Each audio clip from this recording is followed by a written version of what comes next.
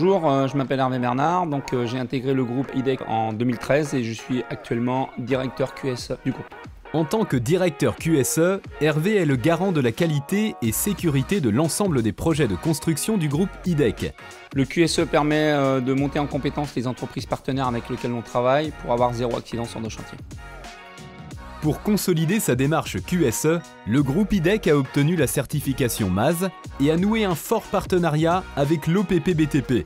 Ce partenariat nous permet d'avoir un- une co-construction euh, de la démarche QSE au niveau du groupe et un accompagnement avec nos entreprises partenaires. En tant que contractant général, le groupe IDEC intervient sur toutes les phases d'un projet immobilier. Il intervient en phase conception pour répondre aux besoins du client et en phase travaux pour euh, déployer la démarche QSE avec les entreprises partenaires. Le groupe IDEC, c'est aussi un groupe avec un engagement fort dans le milieu sportif. Partenaire d'IDEC Sport Racing, vainqueur de l'European Le Mans Series 2019. Afin d'échanger sur des valeurs communes, Hervé rencontre aujourd'hui le pilote Paul Louchatin. Donc euh, on est sur le circuit des 24 heures du Mans. Est-ce que par rapport au circuit, il y a une partie que tu affectionnes euh, tout particulièrement au niveau de ta conduite? Ouais, clairement. Euh, c'est un circuit exceptionnel dans son ensemble. Euh, c'est un circuit atypique. On est tout le temps à très haute vitesse.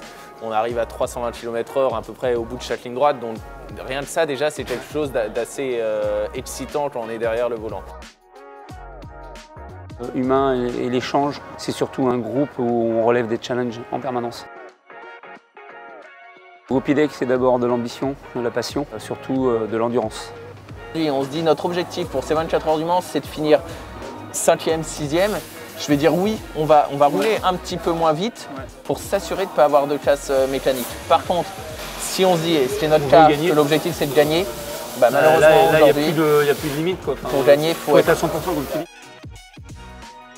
Surtout un, groupe où on relève des challenges en permanence. Et ça, moi, euh, c'est ce qui fait que même si j'ai un certain âge, euh, j'ai l'impression d'avoir 25 ans. Waouh, génial Hop, hop. Hop.